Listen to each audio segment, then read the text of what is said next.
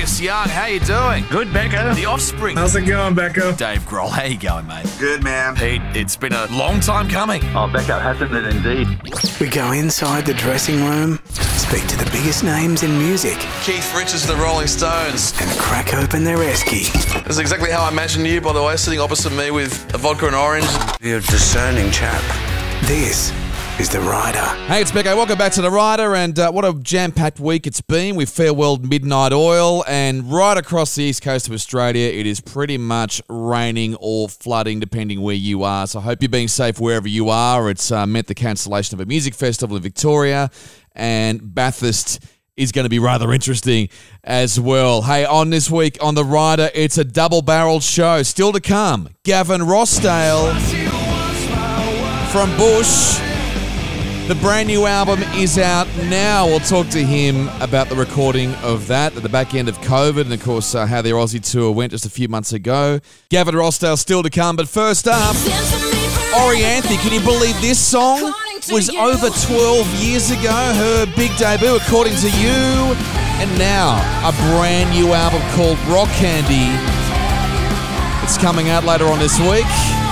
The current single is Light It Up, and Orianthi is uh, currently in Los Angeles. Has been over there for quite some time now, working on a few different projects over the years. And I think, uh, where are you right now? Getting a coffee, Orianthi? I'm just sitting at a I'm sitting at Starbucks right now. Oh, you're not. Store, that is so- that is fantastic.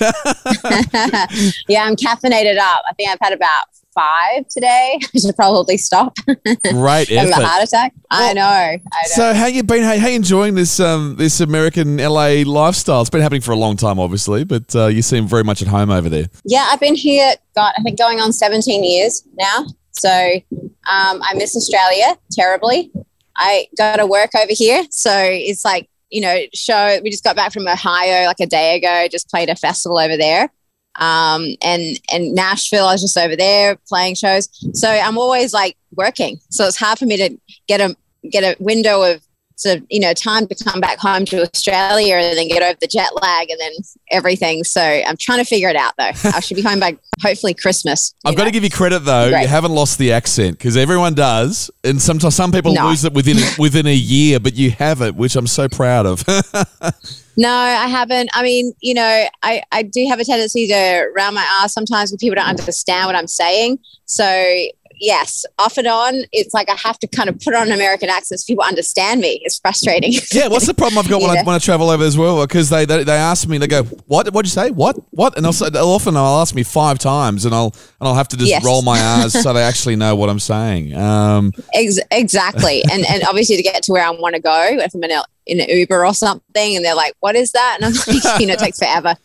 takes forever. So yeah, but it's all it's all good. And yeah, I mean, look, America is home now because I've been here for so long, like probably more than half my life. But um, Australia will always be like, I want to get a house over there pretty soon, the next year or so by the beach. That's my that's my goal, so I, I can come back and forth. Well, I'll tell you what, I was at Henley um, in your neck of the woods just a few weeks ago, and Henley has become so trendy. I mean, I think it's always been fairly trendy, but it was like fully proper trendy now. Oh yeah, Adelaide. I got to tell you, every time I go back over there, it it's changed, but it still stays the same.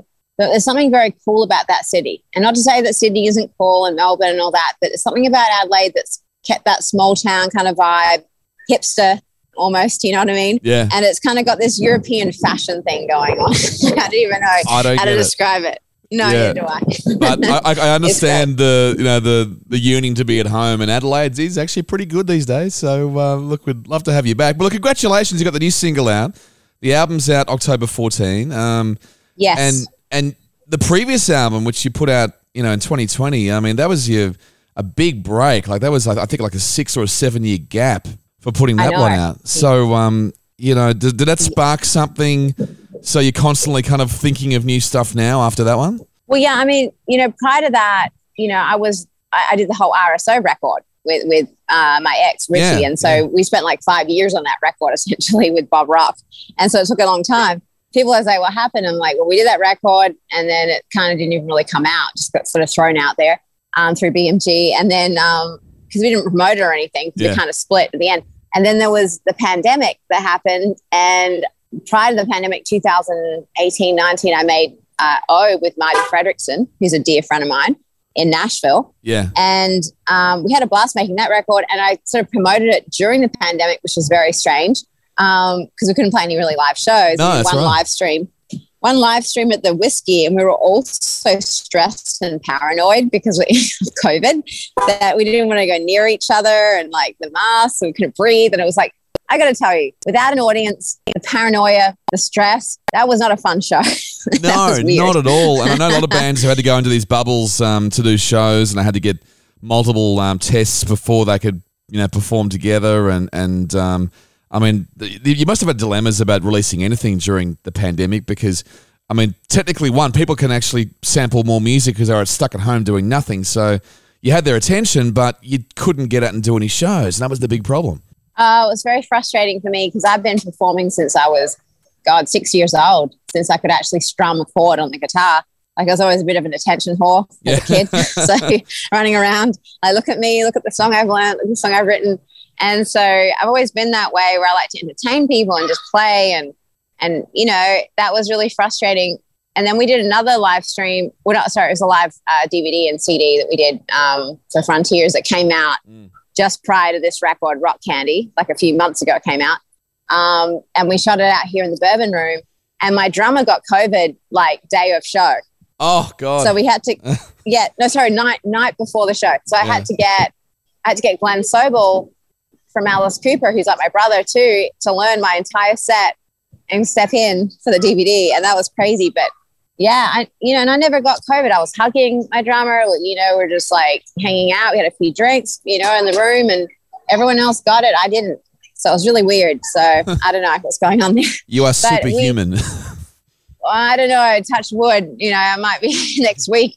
Uh, after traveling so much and being around so many people and parties and meet and greets, I did like hundred and twenty persons sort a meet and greet the other day uh, in Ohio after a festival. So who knows? Give it a few days here. I think you never know. Yeah, it's, Um, it's, it's a real dilemma that one because a lot of bands have stopped doing meet and greets, and um, you know other bands are traveling literally in a proper bubble until the last show, where they can then have a decent party after the tour ends. But um, yeah, it's it's a new world. It's it's a bit scary at times when there's money involved, know, especially.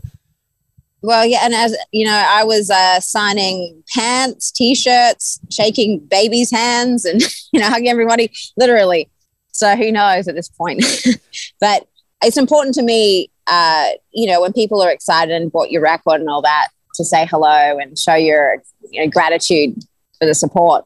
You know, that's that's very important to me. Yeah, So- that's the thing. It's, it is really important to meet the fans, and the fans really appreciate it. And you always hear from, um, you know, the the hardcore fans of certain bands who um, are, are- with the band because the great service they give, and, and some bands are great at it. They, they've got incredible fan clubs, and Linkin Park were always known for that, and even Midnight Oil are the same back over here. You know, they they've got incredible. Are Active, they great? yeah, like like really active fan clubs, you know. But um, the album, by the way, like the, the single is incredible. Light it up. That riff is just nuts, and I and I love it. But the track after that, track three, Fire Together, I loved as well. And uh, you must be Thank so you. you must be so proud. Oh, thank you so much. Yeah, we made this record in 13 days. I made it with my friend Jacob Bunton, and we wrote a song a day. That was our um, goal. And I said, because I wanted to make something very present and in the moment, opposed to like, aside from a couple of songs that we put on there, like Fire Together uh, and there's two others, or one other. Um, but the others were all written, you know, during that time period. Because I wanted to make, you know, you know, sometimes you saw songs from a couple of years ago, whatnot, but at the present moment, how you're feeling, it was like a kind of stream of consciousness. Like let's just come in every day, come up with something, and then record it. So that's what we did essentially. And then the live musicians did their thing at the end, and because we sort of programmed the stuff in the studio here in Hollywood. Um, but Jacob Bunton, he's he's a great friend of mine, very talented producer, writer, guitar player, violin player, uh, piano player. So yeah, I mean, it was really it's great to make a record with a friend because you don't um, feel sort of guarded. You can really sort of just be open and honest about what you're going through, like lyrically and and all of that, opposed to when you first meet somebody and it's awkward when you write a song with a new songwriter or you work with a new producer because you're sort of getting to know each other, you know. And and so I've known Jacob for about seven, eight years now, so we're buddies. Yeah, I can imagine. Uh, you know, if you're in the studio with a mate, you kind of feel like you're in a probably a nice little um, you know, comfort zone where you're just throwing around ideas and and, and there's no judgment. And um, I mean, Jacob must be a talent because he played on pretty much every instrument apart from the the drums. You know, so that's that's not a bad Yeah. caliber. You know. No, he's awesome, and he does movie soundtracks as well. And um, just as I said, just a solid person, friend. And and when I asked him, I approached him, "Hey, let's make a record together," because we've written a lot of songs together over the years, and and I never made a record with him, and and we kind of did it pretty manically. I mean, it's like 13, 14 days kind of thing, and let's just do this. And yeah, it was it was fun.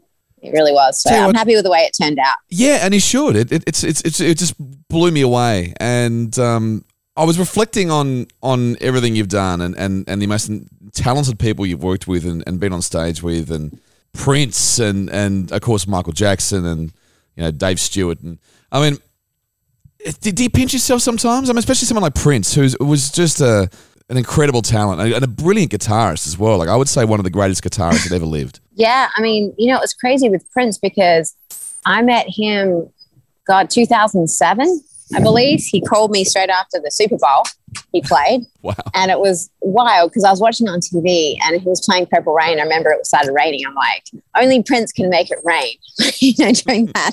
Like, God, bring on the rain, you know. Um, and you know, he's he's he was such a um, mysterious friend for for years. Um, and yeah, he called me. I don't know how he got my number, but he said, "Hey, I'm going to fly into LA and I want to jam with you and bringing Sheila E with me, and we're booking out the record plant where I was. I was signed to Interscope Records in Geffen, so we were recording out of the record plant a lot.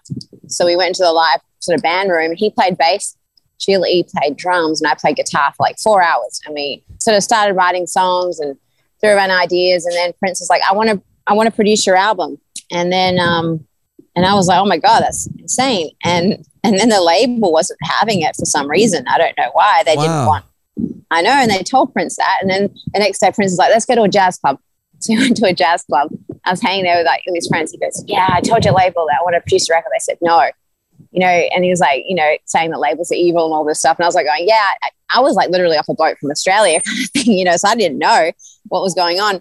And I'm like, why the hell wouldn't they want Prince to produce my record? So I was upset about that, but like confused. But I guess, you know, they had their vision of what they wanted, where they wanted me to go. And, and Prince was making sort of kind of not like super commercial music at the time. You know what I mean? So he, they were probably going, oh, he might do something experimental with me. And they wanted to put me in the pop charts. I don't know what their thinking was, but, um, but damn, he can write a song. I mean, hell, you know, it would have Yeah. been, it would have been a great, ex- that would have been amazing to even do a few songs with him. But, you know, uh, I was very grateful to have the friendship we had over the years. And he would always call or check in and, and uh, probably three or four times a year he would call. And the last call I got from Prince was like two, two or three weeks before he passed.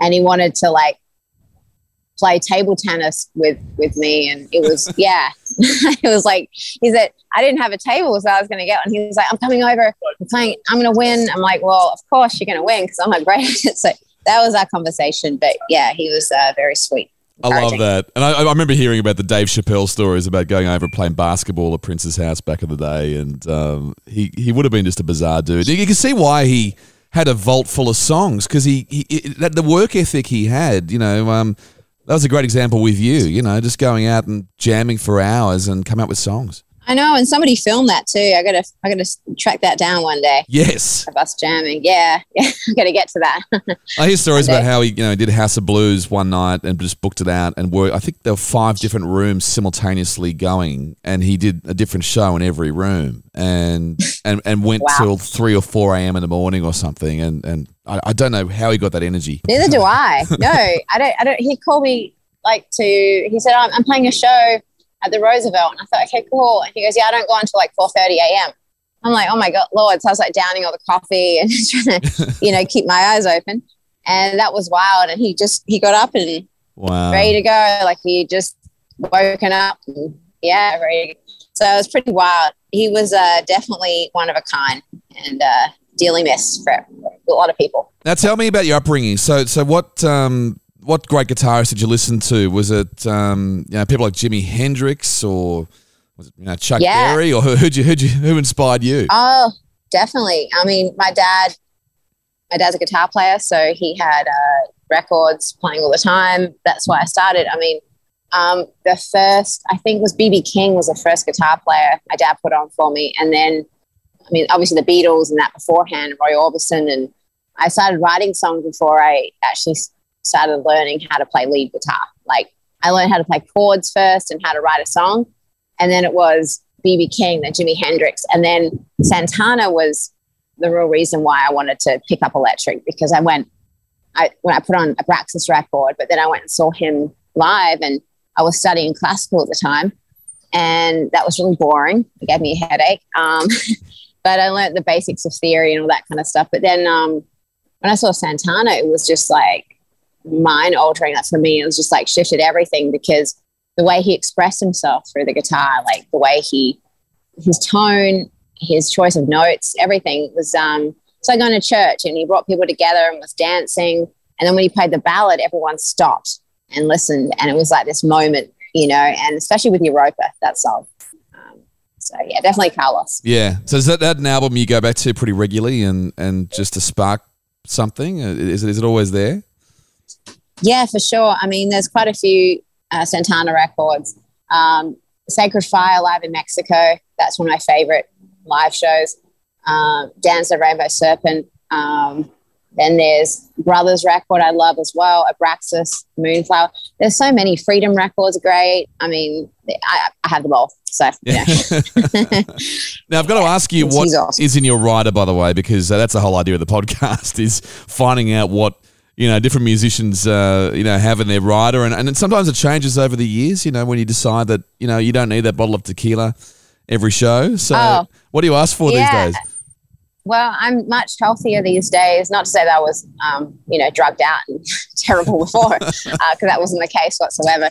But I, you know, I I don't eat as much packaged food, or I was eating a lot of like meat, and I don't eat that much anymore. I, I uh, I'm more of a pescatarian, so and and vegetarian. So I kind of keep it really healthy. Everything everything's organic, so it's like berries, usually tea, honey.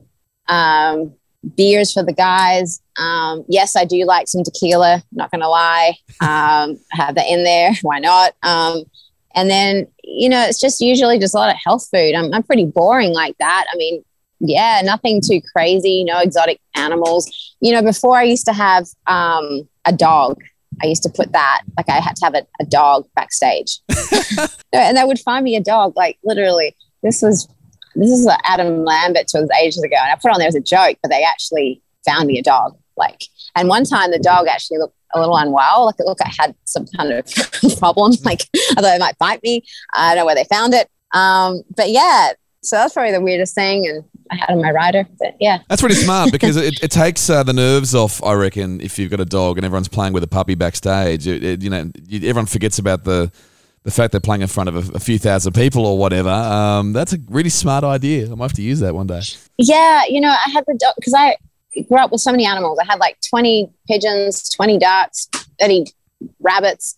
You know, I had a mini farm growing up. So I always had animals around to Yeah, tend to. yeah. And when I came over here, I didn't, yeah, I had two dogs in my apartment, in my apartment when I first moved over. But, but then on the road, yeah, you miss having an animal around. And that sort of presence definitely makes things um, like sweeter. The whole environment changes because everyone's focus is not so tense. It's not about the business. Like, oh, how cute is this dog? And and you know they're very innocent and all that. So it's just I love I love animals a lot. So yeah. Before you go, um, I know that there was an opening in Alice Cooper's band. did you did you get a phone call? Are you- are you- would would you go back because you had a great relationship with Alice being in his band? Yeah, look, I'm actually playing a show with Alice um, next month here in LA. We're doing a, a benefit for the Palm Springs uh, thing. It's actually my I'm playing my own set, but I think I'm playing with Alice as well. Great. And then Queens of the Stone Age is playing. Paul Rodgers is playing. Um, Paul McCartney's band. So yeah, I mean, it's going to be a fun evening for a great cause. Um, Alice did call me. He called me prior to Nita leaving, actually, to uh, fill in for some big uh, festivals over in Europe, and I couldn't make it in time because I was playing two festivals out here myself in LA. So sorry, not, sorry, not in LA, in America. So he was in Copenhagen or I don't know where he was, Denmark. He's like, get on a plane, you know, I'll fly you out. And, and then I couldn't make it. And then, uh, and then, yeah, he was like, we're family. So anytime. Um, but Kane went back for this run. Um, I've been busy, I said, promoting this record and doing shows. But in the future, I mean, who knows? I'm, I'm really focused on my solo career right now because I've done a lot of collabor- collaborations and stuff like that. But I really want to get back to touring with my own band, and and uh, that's what we're setting up right now with my whole new team. And but absolutely with Alice, I mean, if he calls me to do something, I'm there. Um, absolutely, I love him, love Yeah. the whole band, everybody. Yeah. Yeah, I would, would love to see that one day. But look, you have got an incredible album, and um, I think you've got to be proud of that. And, and, and the fact that you're building a team around you for many more albums to come, we can't wait. Look, um, Orianthi, I know you got to go, but look, it was so good catching up. And go back to your Starbucks, and uh, we'll see you back over here, hopefully for, Christmas, maybe. Yeah, yeah. I'm actually, I'm, I'm definitely coming back. I think in uh, April, I'll be in Australia for sure. We've got a show out there, and um, I'll, I'll post everything pretty soon on my on my website when that's revamped. But Right. um, can't wait to be back. Yeah, definitely. Wonderful. And thank you for your time and support. And um, happy you did the record. yeah, good on you. You too. Well, take care, Orianthi. We'll, we'll talk to you soon. See you later. Okay. Bye bye. Bye bye. Take care. There she is, Orianthi, doing an interview from a Starbucks. I love it. Check out the new album from Orianthi. Rock Candy comes out later on this week.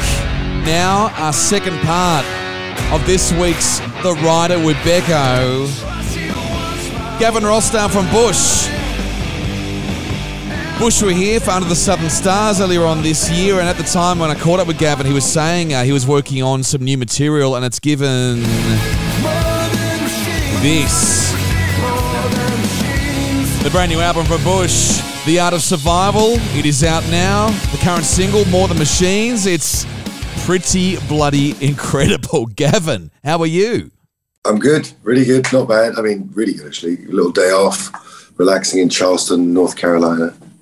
How's the tour going? Because I, I, I've I've seen the fan uh, photos going up on the you know on the Facebook group, and uh, you are It's- yeah Yeah, it's phenomenal. I mean, just really great. Um, you know, I didn't know what to expect really because we were playing a little bit earlier.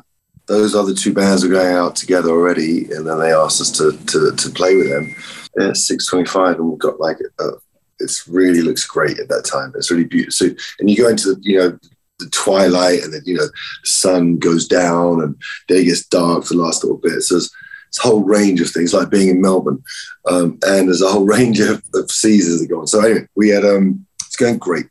It's real fun. Twilight's a good time to see you. Actually, I remember um, walking into Soundwave ten years ago, and um, you were on that slot. I think it was about you know five o'clock, and was ready to come down, and and and it's good because you can kick on, or you can go back and have dinner. It's been great just to be part of it. Uh, uh, to be honest, it feels very like uh, it's such a nice atmosphere backstage. I've known um, Jerry for some time, but never spent that much time with him, you know.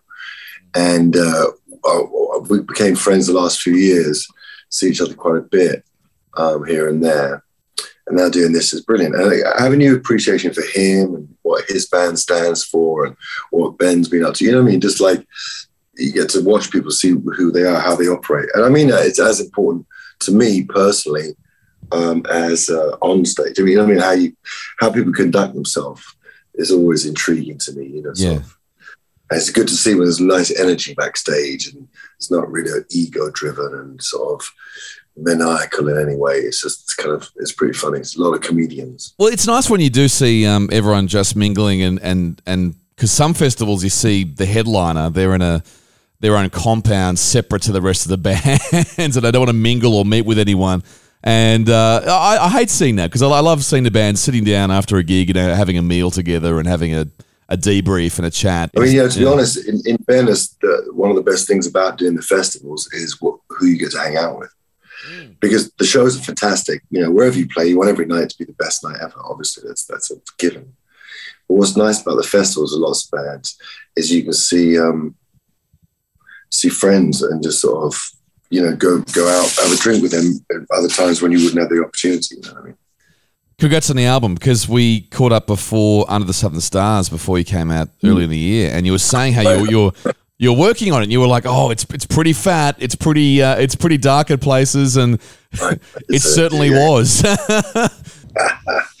Brilliant. So it did what it said. I did, did what I told you it was going to do. Yeah, it's really, really good. Like it's it's impressive. It's um and and I think also I like how it just comes out of the blocks straight away. There's no messing around. You know, track one right in there. That's great. It's fun for me because, and what I love that about life, that how amazing that is, that it, life is so magical. It's to be lived in in in fragments because that's what it is. All these moments put together. Like when we were speaking before, it hadn't really taken full shape. It was just sort of what I wanted, and it was a it was as much theoretical as the songs. You know, I still had to after we'd had that conversation follow through, and that's what I love about life is that when you you know you make things or you you get to a point you create a body of work. Um, I think it's really satisfying as a sort of a, someone who makes things, if that's how I consider myself. It's an extension of yourself as well. Like I, I, Yeah. I, I could imagine when you submit the album and the track listing too to to you know your your, your team and.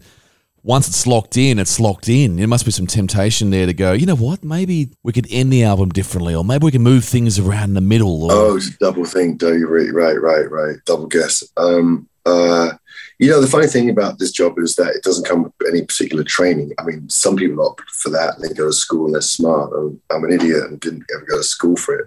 I just, you know, figured music as I as I go along. You know, still find it like a, a mysterious, you know, beautiful sort of infinite concept. You know, the all the, the you know the potential in the world, but. um it's just I, I I just like having a body of work. It really feels good as a songwriter just to sort of get another load of opinions down and committed to music. That feels good. It must have been um, also kind of hard to figure out where to head to during uh, you know the post-COVID era because um, it is you know it's it's an album all about resilience and destruction and it's quite dark. You uh, you nailed the sentiment there, I think, pretty well. Best band in the world ever to bring you down. Yeah, No, I don't know. I mean, so I try not to be. And things is for me, I'm a, I, I'm a really, I think, a really positive person. And, uh, but I think that the way that I kind of wrestle with my demons and wrestle with things is to make music and make it uh, to reflect how I feel and what I see. And, you know, I'm just really lucky to have a, a unit of people, whether it's uh, the band or with Eric, who recorded us, you know, it's just trying to keep as many ex as few and as excellent people around us as possible. So there's not so many opinions, but the opinions are pretty strong, and it's a, you know, it's a it's a it's a pretty much common consensus how the song ends up is a common consensus. You know? Do you work as a team really well? Like, or was it was it one of those ones where you go alone for a little bit and cut yourself off and do, we do a lot of we have a specific we have a specific system that we've used for years. It just works to start with a little framework of me getting a few things together and then exploring that. Then after after that process, invite people in. All bets are off. I'll receive music. I'll you know be collaborative, whatever you know. But I sort of start the ball rolling, and then um, and then then kind of open it out. You know, I mean, sing other people's music, whatever. I don't, you know, I don't have to do everything. So I don't. I think it's more healthy to have it split. You know, great contributions from Chris and Corey, and you know, it's it makes it richer. It's better. You know what I mean? They're, they're really good. It'd be foolish to not let them be them on the record. Do you know what I mean? Stupid. So there, it's. I think it's really. I, I love it about that. We've come, become a really economic. Um, as in just no wasted, no waste. Uh, pretty fierce band they are. You know, you know, when I play with them, and like fierce is the best word for it. It's like it's really, you know, Nick is so drives so hard, and uh, Chris and Corey are just sort of excellent and tight and clean and clear. Do you know what I mean? It's really like they're very precise musicians.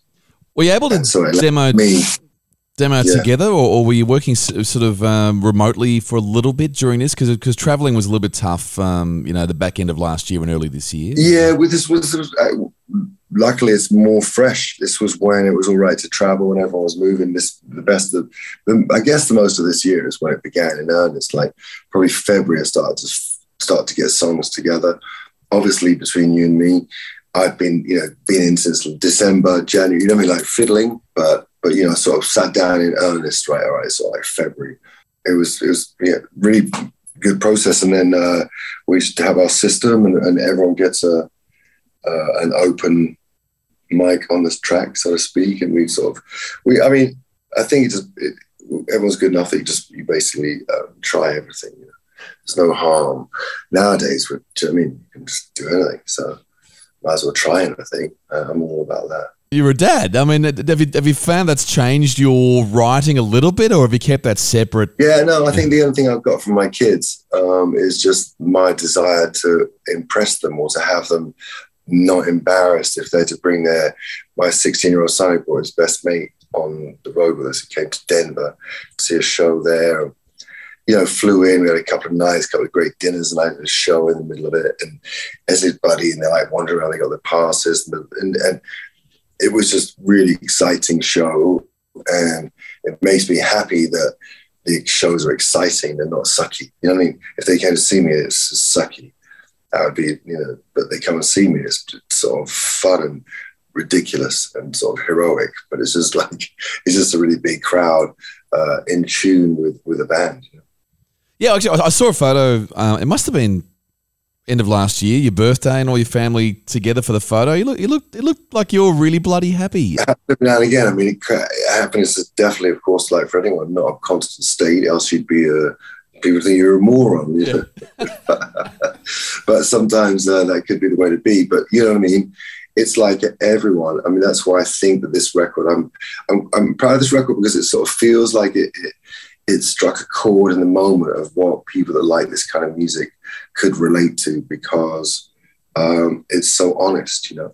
And I've been through so much. It's like it's intriguing to, to kind of uh, just have all I don't know stuff that I write about even more um, interesting to myself. You know what I mean? Sort of uh, a bit more incisive, a bit more insightful, and and uh, you it's going in the right direction. So it's sort of exciting to share. You know, you do a sort of a good collection of stuff. And, I mean, people in bands are ridiculous, like needy and this like you know, seeking approval and all that sort of stuff, like psychotic.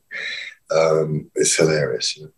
And different members of the band have different desires. You know, there's, there's a lead guitar style, there's a lead singer style, there's all the kind of ways that, and it's all types, you know of course, all the same type of people are bass players because they're usually sort of the coolest, you know, not quite needing to be center stage, but kind of holding everything down and useless without them, you know, that kind of thing. Well, it was interesting because I didn't, I deliberately didn't find out what the singles were when I heard the album for the first time, and I just wanted to kind of um, make up my own mind and figure out which ones they were, and I.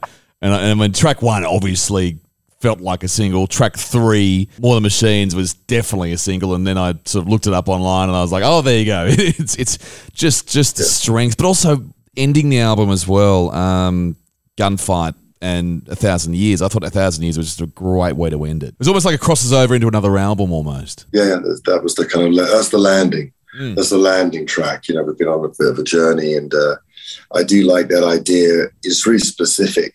Everything is is intentional, you know. So where the, the fact that, that song starts the record, heavy as the ocean, is you know, it's um, the art of survival, and then heavy as the ocean is the sort of the the, the um, sort of epilogue to it. You know, it's the sort of sums it up. Like, yeah, you know, it's all going to come at you um, a lot, but it's sort of that's just part of living and. Um, it's just fun to be out on tour and really experience people. I felt it quite a bit in Australia, but I felt quite a bit of fear at the beginning of the shows because it was so early on after the kind of pandemic and was everyone was coming out, so to speak. And it's just gotten to the point now where people can finally truly relax, you know. And so we see 15,000 people connected who've all been through so much stuff. It's not just any two years, it's like the worst two years of most people's lives. Yeah. yeah. And the after effects, everybody's feeling now almost as bad at, the time, uh, health aside, of course. But it's like you just see it in every area of, of life. Um, and so when everyone's gathered together uh, to see music they love and you can uplift them. It's it's a it's a It's a great job. Well, I can imagine some festivals um, were very nervous about uh, you know bands meeting backstage. I, I went to one festival where the, everyone was in little bubbles, um, and there were no photographers in the pit, and they Yeah. had no mingling backstage, and that anxiety I think would actually. You know, convert to the mood on stage as well. It was it good being back in Australia, by the way? we, we got good. That that was that was it was an amazing amazing tour, and uh, it just I got thrown at the beginning because we started in Sydney and it was pouring rain, and and I was like, "It's, it's summer," and and then we went off. We drove three and a half hours to a, a field. I was like, there's no fields closer to the thing. And we played there, but the show was great. Every show was fantastic. And it really, really warmed up. I think most people knew after two or three shows that we were actually coming and we were doing it. People's confidence grew. And then it became um, very sort of uh, summery, dreamy, some seaside towns there and stuff. It was a, it was, it was a great tour. And, uh, you know, was, was really happy to play there. And then now I come back for this record at some point. Yeah, yeah. It, it was. Um, yeah, it's been a very weird time weather-wise. It's been raining the whole year, pretty much. It's not normal, not typical Australian weather, but we've just got this year of rain and floods. But before you go, I want to talk about tennis because I know you love your tennis. Uh, Roger Federer retiring. You- You've played tennis with him, haven't you? Yes. And Serena and Venus just came to our show in West Palm Beach. Great. I was so happy. No way I saw the, I saw Serena. I haven't seen her for a long time, a couple of years, and I didn't have any chance of getting hold of her. And I'd seen her uh, uh, end match and all that stuff. I was like, oh, I wanted to congratulate her, and then she showed up there. So it was beautiful to see them. They're incredible. Um, but yeah, as to Roger, yeah, you know, what an incredible career, incredible, one of the greatest sportsmen of all time of any sport. Uh, but- Any Well, he's just a gentleman, just just just an absolute great ambassador and and very good at what he did. So I, I did want to ask you about that because I think we're as all tennis fans were, we were all very um, you know sad to eventually see him retire. But mate, like I know you got to go, so it was great uh, seeing you again, and uh, Yeah. can't wait for the album to be out this week. Uh, congratulations, and um, we will see you out here very very soon. Gav, good to see you. Thanks, mate. All the best. There we go, Gavin Rossdale from Bush. Check out the new album, Art of Survival. Two incredible singles already off that record. There was Heavy as the Ocean, track one, More Than Machines, track three, and the album is out now. Check out The Rider with Becko on all socials. Search for The Rider with Becko. We will catch you back next week.